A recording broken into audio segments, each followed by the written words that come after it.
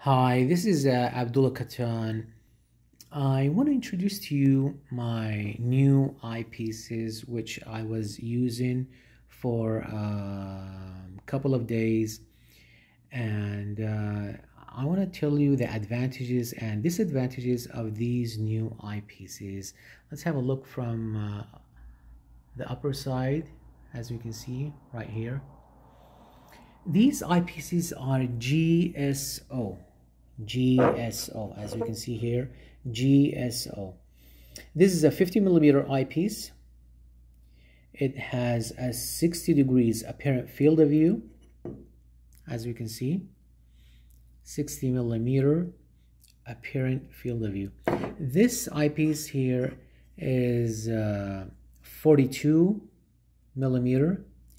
It has a 68 degrees apparent field of view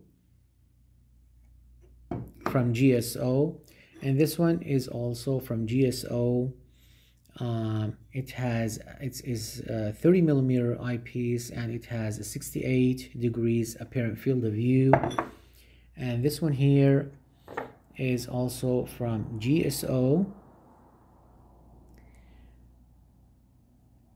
it's a 20 millimeter 20 millimeter eyepiece and has a 68 degrees apparent field of view.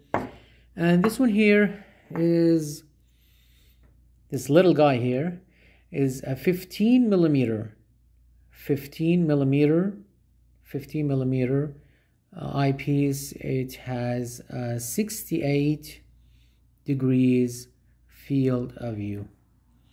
Um, these eyepieces I recommend them if you want to go for a low budget eyepiece.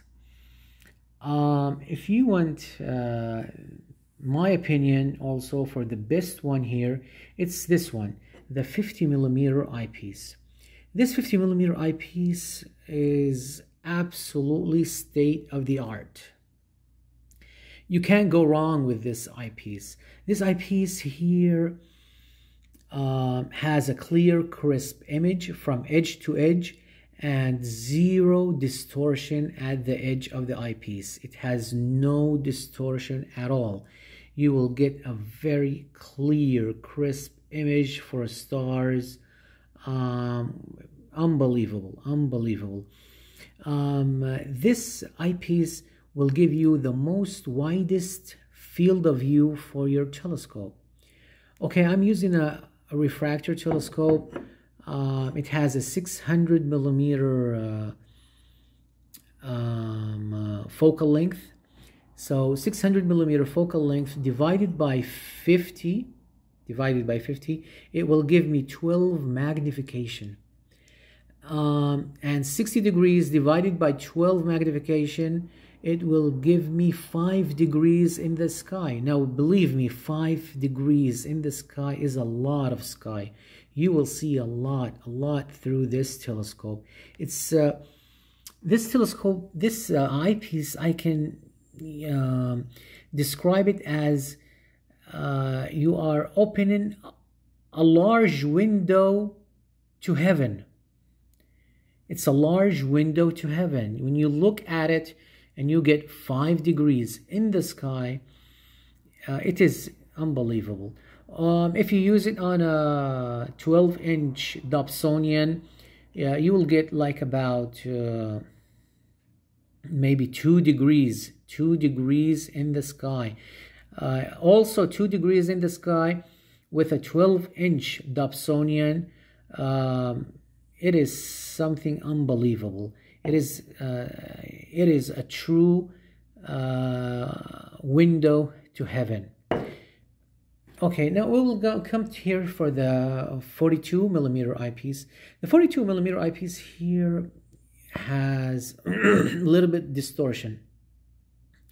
It has about 10% distortion at the edge of the eyepiece. 10% um, distortion is not really that much, but it is still a very good choice.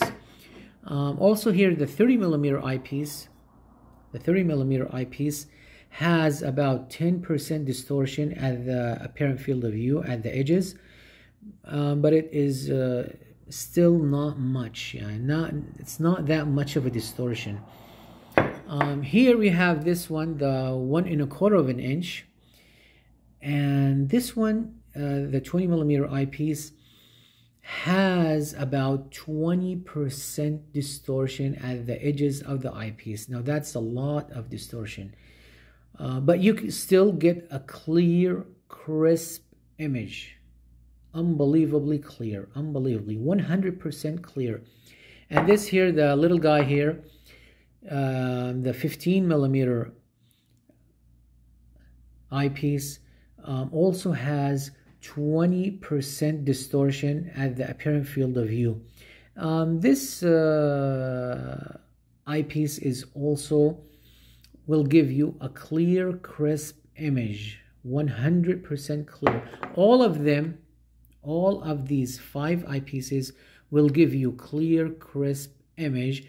And this one has 20% distortion, 20% distortion, the, uh, the second one, the, the 30 millimeter 10%, 10% distortion, and here 0% distortion. Well, what I recommend strongly for astronomers is to have this eyepiece, the 50 millimeter eyepiece. It is state of the art. You can't go wrong with it. Um, and zero distortion. And if you want to use it for a Dobsonian, it is unbelievable. If you to use it for a Schmidt Cassegrain uh, but you must use the focal reducer 0.63 uh, so you will not get any coma or any distortion.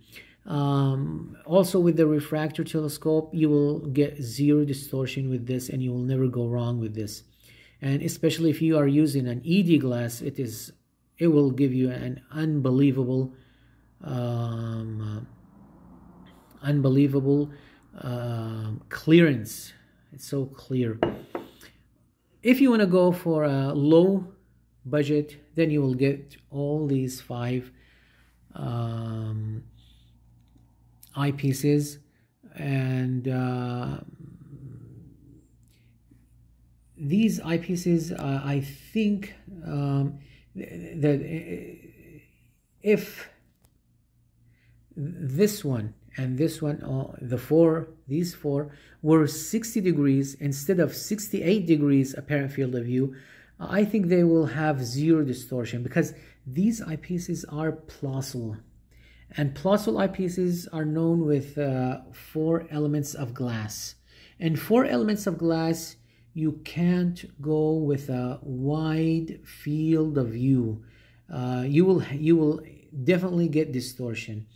Uh, this is why this 60 millimeter, this 60, this 50 millimeter has a 60 degrees field of view, which has uh, extremely zero distortion on it. Um, and I recommend it strongly for astronomers. This one, it is uh, something uh, you will never regret. It, it uh, obtaining it and uh,